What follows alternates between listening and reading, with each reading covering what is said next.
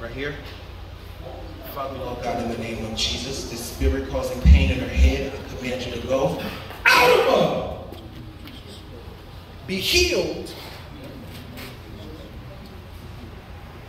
In Jesus' name. Amen. Come in now. The pain go. Let's give God a praise,